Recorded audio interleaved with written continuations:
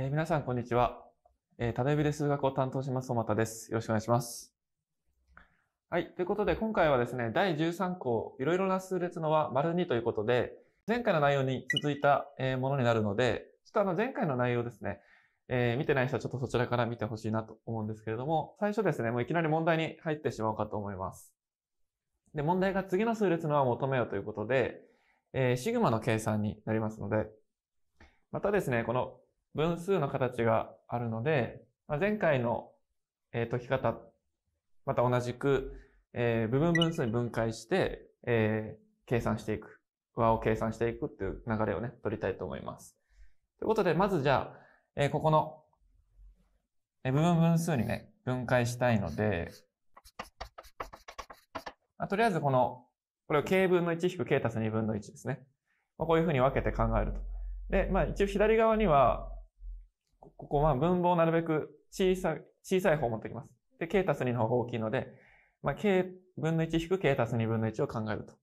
まあ、逆でも一応できるんですけど、まあこっちの方がね、あの計算しやすいです。えー値が、えープラスになるのでね。値が正になるので、まあ一応 k 分の1引く k 足す2分の1っていう形で、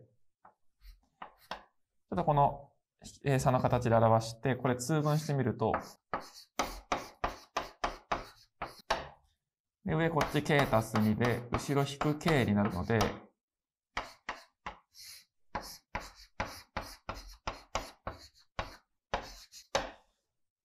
で、これ計算すると k 括弧 k 足す2分の2ってなりますね。で、元々の問題は k 括弧 k 足す2分の1、1なので、これ両辺に2分の1、これね、2分の1かけることで、k 括弧 k 足す2分の1っていう、このシグマの中身の形が作れることがわかります。なので、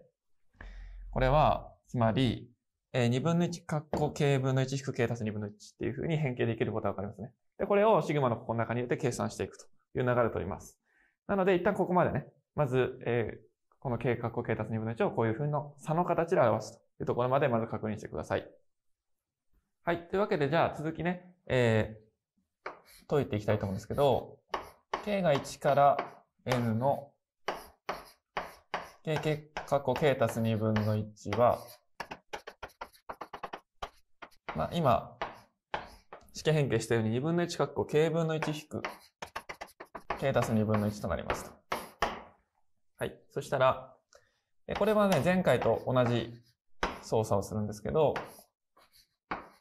まあ、シグマの性質を利用して、まあ、2分の1は前出してね。まあ、こんな形で変形していきます。で、あとは、ここまで変形したら、シグマの形をやめるということで、まあ、実際に、えー1から n までね、代入していきますと、まあ、これ1分の1足す、2分の1足す、3分の1足す、まあ、これ n 分の1まで。で、後ろの方が、まず1入れると3分の1になるんですね。4分の1足す、まあ、ちょっと n 分の1から書いておきますね。まあ、n 引くに入れると、まず n 分の1足す、n 足す1分の1足す、ここはですね、最後、まあ、n 入れると n 足す2分の1なんで、まあ、n 足す2分の1の前には n 足す1分の1があるし、その前には n 分の1があると。で、一応ここまで書いた理由としては、これがね、全く同じものになるので、まあ、引き算だから、ごっそり消えるということですね。でそうすると、ここが、まあ、1足す2分の1、引くことの n 足す1分の1、引く、まあ、こういうふうに、えー残ります。で、前回は、えっとね、1個ずつ残る問題やりましたので、今回はこうやって4個残るような問題になっています。はい。で、あとね、最後、これ、えっ、と、まとめる必要があるので、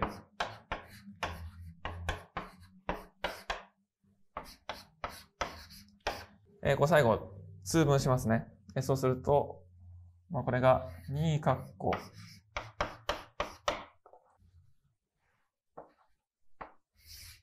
2括弧 n たす 1n たす2分の、えー、3n たす 1n たす2く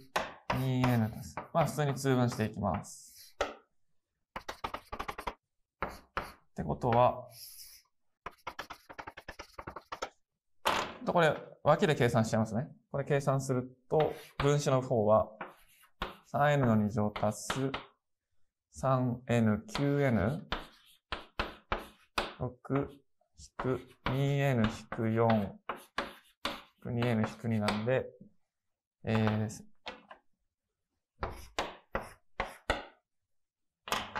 3n の2乗足す 5n ですね。残るのが、まあ、3n の2乗足す 5n 残るから、まあ、最後、ここも因数分解できるので、n 括弧 3n 足す5。ここまで整理できるので、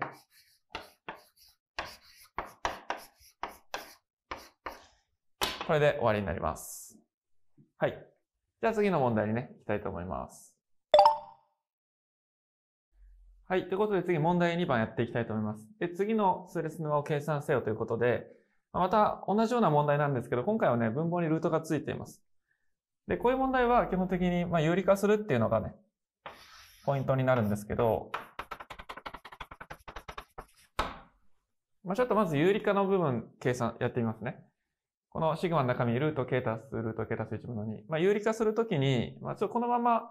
有理化してももちろんいいんですけど、まあ、あの、分母プラスにしたいので、まあ、ルート k 足す1とルート k、これ順番逆にしてます。ルート k 足す1を先に書いてます。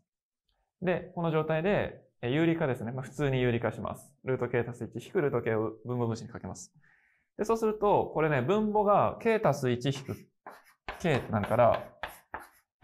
1になるんですね。分母1、1分のだからまあ分母を省略していいと。いうことは、まずこういうふうにね、えー、表すことができると。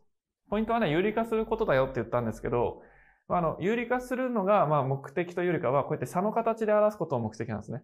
シグマの中身を差の形にするっていう。まあ、さっきの部分分数分解もそうでしたね。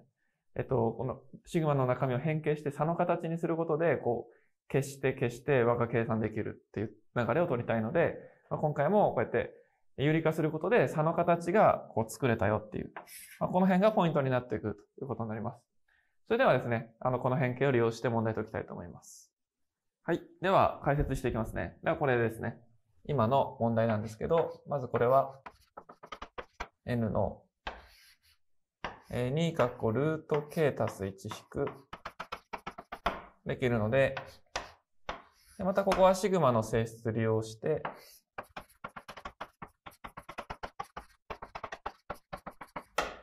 こんな風にね、変形しますね。あとは、先ほどと同様に、もうシグマの形をやめて、和の形でね、まず1入れるとか、ルート2ですね。で次に入れるとルート3。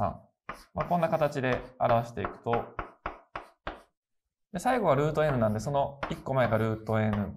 最後がルート n 足す1なんで、n 入れたらね、こんな感じで表せます。で、後ろの方は1から代入していくと、ルート1足す、ルート2足す、まあ、ルート3足す、こんな形になるので、えー、ここのちょうど、ここはですね、これが一緒になるので、ここがバシッと消えて、で、残るのは、ルート n 足す1と、あと後ろのマイナス1ですね。ルート1は1なんで。はい。こんな形で表すことができます。はい。ということで、まあ、あの、前回に続いて、このシグマの、えー、こういう、まあ、分数だったり、有理化する問題だったりともやってきましたけど、まあ、あの、大事なところは、こういう差の形で表して消して処理、まあ、消してって、最終的には求めていくって流れなんで、そこをね、しっかり、あの、理解してくれれば